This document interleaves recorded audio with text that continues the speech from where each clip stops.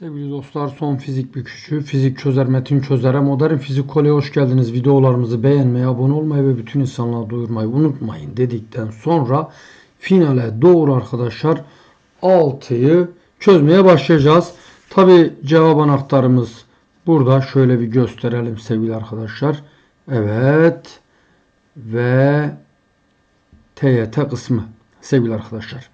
Demek ki finale doğru 6'nın arkadaşlar görüldüğü gibi 12. sınıf finale doğru 6'nın cevap anahtarı bunlar.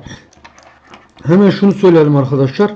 Bir kardeşimiz hocam keçeli kalemle çözebilir misin dedi. Ben de baktım arkadaşlar hakikaten kardeşimiz haklı. Tabi arkadaşlar biz dedik ki her zaman bu işe başlarken de sizlerin desteğine her türlü desteğine açığız. Her türlü desteğine ihtiyacımız var. Bu konuda da arkadaşlar her zaman açık yürekli bir şekilde kendimizi geliştirmeye hazırız. Bundan dolayı arkadaşlar yapacağınız her türlü güzel, olumlu eleştiri için arkadaşlar ne diyoruz kardeşim? Sağ olun, var olun. Bu eleştirileri dikkate alacağız diyoruz. Bu eleştiriler bizim daha iyiye, daha güzele gitmemize arkadaşlar vesile olacaktır diye düşünüyorum. Buna inanıyorum. Tabii ki arkadaşlar işte eleştirilerimizi biraz daha güzel. Mesela o kardeşimiz gayet güzel bir şekilde ifade etmişti. Hocam keçeli kalem kullanabilir misiniz? Bakın ne kadar güzel. Ve dedik ki kullanabiliriz. Arkadaşlar gittik aldık deneyelim bakalım inşallah iyi olur. Olmazsa her zaman iyiye doğru her zaman iyiye doğru arkadaşlar açığız fikirlerinize bekliyoruz. Sevgili arkadaşlar birinci sorudan başlıyoruz. Doğrusal yolda hareket eden kale araçlarına ait. Konum zaman grafiği şekildeki gibidir. Buna göre 5. saniye sonunda araçlar arasındaki mesafe kaç metre olacaktır diye sorulmuş. Evet sevgili arkadaşlar şimdi K aracının hızı 12 bölü 2 6. O halde 5 saniyede yani arkadaşlar öncelikle VK'yı buluyoruz. 12 bölü 2 o da eşittir 6. K'nın alacağı yol arkadaşlar 5 saniyede 6 kere 5 30 diyoruz ve yola devam. Evet sevgili arkadaşlar dedik ki K'nın aldığı hız, K'nın hızı daha doğrusu 12 bölü 2'den 6. 5 saniyede aldığı yol 6 kere 5 30. Görüldüğü gibi arkadaşlar yani şu nokta 30. Bu noktada 15 arkadaşlar. Görüldüğü gibi ikisi arasındaki mesafe 45 metre olmuş oluyor. Ve dolayısıyla cevabımız Balıkesir olmaktadır. İkinci sorumuza bakalım. Ahmet yerde duran 20 kilogram kütleli bir cismi 300 Newton'luk bir kuvvete şekildeki gibi çekerek yerden 5 metre yukarı çıkarıyor. Sürtünmeler önemsenmediğine göre 5 metrelik yolda Ahmet'in yaptığı iş kaç juldur sevgili arkadaşlar. Şimdi bakıyoruz. Yapılan iş arkadaşlar. Yapılan iş bu cismin kazanmış olduğu potansiyel enerji olacaktır. 300 Newton'luk sabit bir kuvvetle diyor ki Ahmet'in yaptığı iş. Sevgili arkadaşlar bakın Ahmet'in yaptığı iş uyguladığı kuvvet F. F eşittir neymiş? 300 Newton. Kuvvetin yapmış olduğu iş arkadaşlar kuvvet çarpı kuvvet yolu. Kuvvetimiz neymiş? 300 çarpı 5. 3 kere 5 15. 1500 joule diyoruz. Üçüncü sorumuz Şekil 1'deki iletken ve yüklü L çubuğu K iletken küresine yaklaştırılınca K küresi şekildeki gibi dengede kalıyor. Arkadaşlar görüldüğü gibi L K ne yapmış? İtmiş. O halde bunlar mutlaka aynı cins olmalıdır. K ve L. Arkadaşlar aynı cins olabilir. Olamaz. Olamaz. Olamaz. Mutlaka itmiş. Bakın arkadaşlar daha sorunun yarısını bile okumadım. 3 şıkkı eledim. Şekil 2'de ise aynı iletkenler çubuğu eksi yüklü elektroskoba yaklaştırınca yaprakların biraz kapandığı gözleniyor. Arkadaşlar yapraklar kapanıyorsa demek ki bunlar zıt yüklü. O halde L artı. E artı ise arkadaşlar bu da artı artı artı. Cevabımız Adıyaman diyoruz. Gayet basit bir soru. Ve geldik arkadaşlar dördüncü soruya. K ve L dalga kaynaklarından yayılan ve aynı ortamda ilerleyen iki periyodik dalga şekilde gösterilmiştir. Buna göre arkadaşlar bakıyoruz buna göre. İki dalganın da dalga boyu aynıdır. Bakıyorum evet dalga boylarına 1, 2, 3, 4. Dalga boyu lambda eşittir 4 sevgili arkadaşlar. Diğer vatandaşın dalga boyuna bakalım. Bunu herhalde biraz böyle bilerek mi bilmeyerek mi şöyle geçirmişler. Sanki bana arkadaşlar bir sıkıntı var ama şu tepe noktalarını aldığınızda yine arkadaşlar 1, 2, 3, 4 o halde L'nin dalga boyu da arkadaşlar 4 olduğu görülüyor. Bu da K'nın dalga boyu 4 dedik. O halde aynıdır. İki dalganın da hızı aynı. Şimdi aynı ortamda olduğuna göre arkadaşlar hız ortama bağlıdır. Bu zaten aynı olmak zorunda. K kaynağından yayılan dalganın genliği L kaynağından yayılan dalganın genliğinden küçüktür. Evet demek ki bilerek yapmışlar arkadaşlar. Görüldüğü gibi şurada akmış. Şu genlik görüldüğü gibi birden büyük. Bunun genliği ise bir o halde cevabımız Edirne diyoruz. Özdeş KVL mıknatısları yalıtkan yatay düzleme şekildeki gibi yerleştirilmiştir. D1 büyükte olduğuna göre O noktasındaki bileşke manyetik alan vektörü hangi yönde olabilir? Bunlar arkadaşlar neymiş? Özdeş. Evet. D1 büyük D2. Tabi arkadaşlar burada manyetik alanın büyüklüğü uygulanan kuvvet F eşittir K mü bölü D kare. Ya da burada direkt manyetik alan büyüklüğünü. Mü arkadaşlar burada kutup şiddeti. Şimdi arkadaşlar burada manyetik alan yönünü bulurken O noktasında sanki bir en kutbu varmış gibi düşüneceksiniz arkadaşlar. Dolayısıyla burada uzaklık daha küçük. Bu ne yapacak? İtecek. Bu ne yapacak arkadaşlar? Çekecek. Çünkü burada bir en kutbu varmış gibi düşüneceksin. O halde çekiyor. Şimdi arkadaşlar burada D2 daha küçük olduğuna göre o halde burada oluşan manyetik alan buradakinden daha büyük olacaktır. Şunun oluşturduğu manyetik alan B1 bu da B2 olsun. B2 B1'den daha büyük demek ki buradaki B2'ye daha yakın. Eşit olsa 4. B1 daha büyük olsa 5. B2 daha büyük olduğu için 3. Cevabımız Ceyhan diyoruz. Sevgili arkadaşlar geldik AYT kısmına. İlk 9 soru fizik sorusu sevgili dostlar. 10 metre bölü saniye sabit hızlar hareket eden K ve L arabalarının yere göre hızları şekildeki gibidir. Buna göre K arabasının sürücüsü L arabasını hangi yönde ve kaç metre bölü saniyelik hızla gidiyormuş gibi görür diye bir soru geldi sevgili arkadaşlar. Şimdi bizden bağıl hızı soruyor arkadaşlar. Ve bağıl eşittir ve cisim eksi ve gözlemci. Cisim ile gözlemcinin hız vektörlerinin başlangıç noktasını birleştirip gözlemciden cisme çiziyoruz. Bu arkadaşlar vektörlerde çıkartmada pratik yol. Şöyle bir anlatmış olalım arkadaşlar. Şu cisim olsun, şu gözlemci olsun. Gözlemci. İşte arkadaşlar gözlemciden cisme çizdiğimiz şu bize bağıl hızı verecektir diyoruz sevgili arkadaşlar. Şimdi şöyle getirdim bakın. Şu arkadaşlar L şu da K. İşte K, işte L, 10, 10. Ne diyor? K arabasının sürücüsü. Demek ki arkadaşlar K nedir? Gözlemcidir. Gözlemciden cisme çizdiğimde şu yön arkadaşlar büyüklüğünde 10, 10, 10 kök 2 olduğunu görüyoruz Pisagor amca teoreminden. Ve hangi yöne doğru? Doğu, kuzey. Yani arkadaşlar kuzey, doğu yönünde diyoruz. Evet geldik ikinci soruya hemen komşu yan tarafta duruyor sevgili arkadaşlar. Bakalım ne diyor?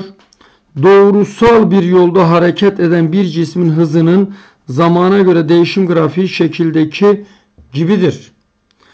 Buna göre cismin ivme zaman grafiği aşağıdakilerden hangisi gibidir diye sorulmuş.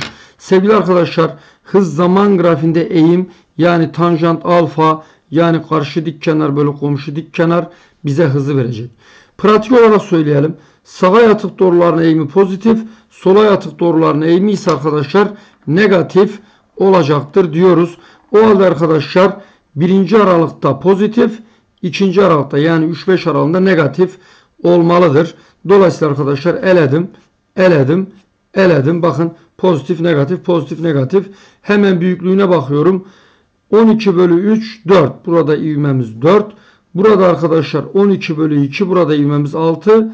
Ama eksi 6 olacak.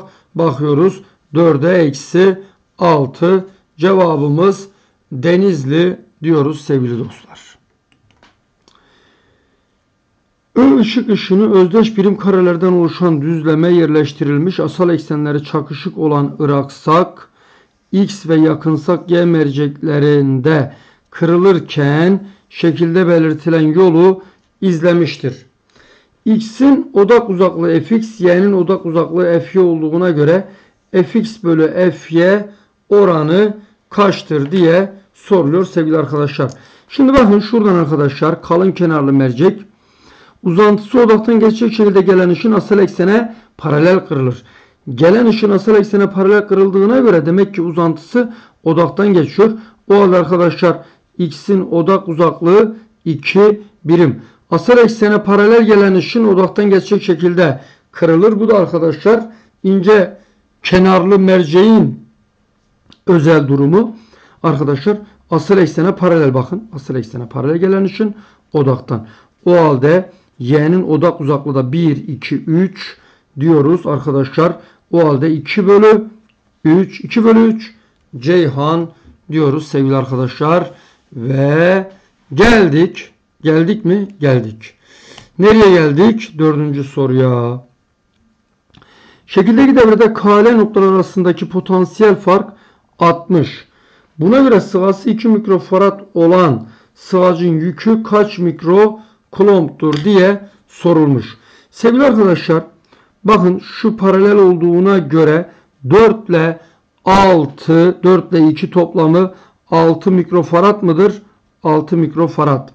Şimdi arkadaşlar 3 mikrofarad 6 mikrofarad toplam potansiyelimiz ne? 60. Arkadaşlar seri bağlı sıvaçların yükleri eşit olup potansiyel sıva ile ters orantılı. Yani arkadaşlar 6'ya 3 olduğuna göre burası 2 V'ye V. 3 V eşittir 60 sa V eşittir 20. Buraya ne kaldı arkadaşlar? 40 kaldı. Bakın 20 çarpı 6 120. 3 çarpı 40 120. O halde arkadaşlar 2 mikrofaradlık sıvacın potansiyeli de 20 midir? 20'dir. 20 çarpı 2 ne oldu? 40 mikrokulomb diyoruz sevgili arkadaşlar. Evet sevgili arkadaşlar bugün birkaç kişi de bu soruyu getirmişti. Şimdi güzel kardeşim şekildeki gibi sayfa düzlemine dik olarak yerleştirilmiş sonsuz uzun X'e iletken tellerinden belirtilen yönlerde eşit şiddetlerde akım geçmektedir. Yerin manyetik alanı önemsenmediğine göre K noktasında oluşan manyetik alan şiddeti L noktasında oluşan manyetik alan şiddetine oranı nedir diye sorulmuş. Şimdi sevgili arkadaşlar hemen sağal kuralı burada kavrama efendim söyleyeyim ben avuçlama diyorum arkadaşlar. Tel görürsek teli avuçlayacağız. Bobin görürsek bobini avuçlayacağız. Çember görürsek çembere avuçlayacağız. Evet arkadaşlar şunu şunu efendime söyleyeyim şöyle avuçladığınızda bakın şu arkadaşlar şunun oluşturduğu manyetik alan. Şöyle ben kardeşlerime çizim bakın. Şunu arkadaşlar dik olacak bu yönde. Evet. Çok fazla çembere benzetemedik ama şöyle arkadaşlar bunu da kırmızıdan çizelim. Bakın şunun oluşturduğu manyetik alan. Bakın baş parmağınız dışa doğru oluşacak. Burada arkadaşlar bakın. Bu da yukarı doğru. E şimdi burada arkadaşlar uzaklık A. Uzaklık A. Bunun burada oluşturduğu manyetik alan B ise bunun oluşturduğu B olsun arkadaşlar. B eşittir K 2I bölü D. Zaten bunlar sabit. I bölü D'ye bakın. Şimdi şunun şurada oluşturduğu, şurada oluşturduğu arkadaşlar uzaklık D kök 2 olduğu için bakın şu uzaklığın arkadaşlar D kök 2 olduğunu görüyorsunuz. O zaman kök 2'ye bölerseniz B bölü kök 2. Peki bunun burada oluşturduğu manyetik alan aynı mantıktan arkadaşlar bu yönde işte Sagal kuralını uygulayın. Bunun burada oluşturduğu arkadaşlar aynı mantıktan bu yönde B kök 2. B bölü kök 2 B bölü kök 2. Aradaki açı 90 derece. Niye köşegen? Köşegen 45 45 45 45. O halde arkadaşlar aradaki açı 90 derece olduğuna göre bileşke şunlardan yani B bölü kök 2'nin kök 2 katı B bölü kök 2'nin kök 2 katı bu da arkadaşlar B olmaktadır. O halde arkadaşlar bize ne diyor? K noktasında oluşan evet bileşke manyetik alan şiddeti 2B arkadaşlar L noktasındaki B o halde cevabımız Edirne. Güzel bir soru arkadaşlar. Tabi kolay değil. Sağlık kuralı hem burayı için uyguluyorsun hem bura. Şimdi bir kere bunu burada uyguladın. Bunu burada uyguladın 2. Bileşkeyi buldun. Bunu burada uyguladın. Bir daha uyguladın. Yani 4 kez sağlık kuralını uygulatıyor. Allah razı olsun arkadaşlar. Çok güzel. Evet. Güzel iş yapıyorlar. Güzel. Güzel. Şimdi geldik. Geldik. 6. soruya. Bakıyorum arkadaşlar. Şu şuradaki 6'yı ben okuyamıyorum bu şeyde arkadaşlar. Var bu işlerde bir sıkıntı ama heh, şimdi 6 okunsun. Başka okunmayan bir şey var mı? Yok. Güzel biraz daha parlıyor gibi. Evet Allah'tan bu keçeli kalemi öneren arkadaşa özellikle teşekkürü borç biliyorum. Evet teşekkür ediyorum. Üzerlerinden eşit şiddette elektrik akımı geçen çok uzun doğrusal teller sayfa düzlemine dik şekildeki gibi sayfa düzlemine şekildeki gibi yerleştirilmiş. Evet sayfa düzlemine. Buna göre Y iletkenine etki eden bileşken manyetik kuvvet hangi yöndedir? Y iletkenine. Sevgili arkadaşlar bu paralel tellerden geçen akım aynı yönde ise birbirini çekiyor. X Y'yi çekecek. İşte bu X'in uyguladığı kuvvet. Zıt yönde akım geçiyorsa itecek. Bu da arkadaşlar Z'nin uyguladığı kuvvet. E demek ki kardeşim görüldüğü gibi bir yönünde hareket ediyor. Cevabımız Adana. Evet kalınlıkları farklı X ve Y yayları O noktasından birbirine eklenmiş ve KL noktaları arasına bağlanmıştır. X yayında oluşturulan bir atmanın Y yayına ileteni, iletileni ve yansıyanı şekildeki gibidir. Buna göre yargılarından hangileri doğrudur diye soruluyor sevgili dostlar. Evet canım kardeşim. Şimdi iletileni hedef alıyoruz. Bizim için referans iletilen sevgili arkadaşlar. İletilen baş yukarı olduğuna göre demek ki gelen atmada baş yukarı olacak. Arkadaşlar her zaman şunu söylüyoruz. İster kalından inceye ister inceden kalına gelsin. Her zaman gelen ve iletilen aynı kafada olacak. Bu ters döndüğüne göre arkadaşlar inceden kalına gelmiştir sevgili arkadaşlar. X y yayından incedir. Yes it is. X yayında oluşturulan atma baş yukarıdır. Yes it is. İletilen ve yansıyan atmaların hızları eşit olamaz. Çünkü ince, kalın, ince yayda hız daha büyüktür. No it isn't. Cevap 1-2 yani Ceyhan sevgili dostlar. Ve geldik geldik fazla gittik. Evet duralım şurada. Duralım. Evet şu mavi kalemi alalım. Evet sevgili kardeşlerim kaçıncı sorudayız? Sekizinci sorudayız. Su dalgaları ile ilgili. Su dalgaları ile ilgili. Yargılarından hangileri doğrudur diye soruluyor. Bakalım. Sıvı ortamdaki dalgalar derin ortamdaki dalgalara göre daha yavaş ilerler. Evet arkadaşlar. Ve derin diyoruz ki güzel insanlar ve derin büyüktür ve sık. Arkadaşlar. Ve derin büyüktür ve sık. O halde birincisi yes. Sıvı ortamdan derin ortama gönderilen periyodik su dalgaları derin ortama geçtiğinde dalga boyu artar. Yes. Çünkü arkadaşlar lambda derin büyüktür. Lambda sığ diyoruz. Yes dedik. O zaman içinde 2 de olacak. Şunu eleyelim. Evet. Derin ortamdan sıvı ortama gönderilen derin ortamdan su ortama gönderilen periyodik su dalgaları su ortamdaki periyodu derin ortamdaki periyodundan küçük olur. Bu ister derinden sığa ister sığdan derin olsun. No it isn't. Neden no it isn't? Çünkü arkadaşlar frekans ve periyot neye bağlıdır? Kaynağa bağlıdır. O halde içinde 3 olanlara ele cevabımız Balıkesir, Bandırma, sakın onu bunu kandırma diyoruz sevgili dostlar. Evet sevgili dostlar geldik son sorumuza. Çift yarıkla yapılan girişim deneyinde yani Young deneyinde Fatih öğretmen sırasıyla tek frekanslı kırmızı, tek frekanslı yeşil ve tek frekanslı mavi ışık kullanılıyor. Ya canım ciğerim zaten bu tek frekanslı olacak yani kırmızı.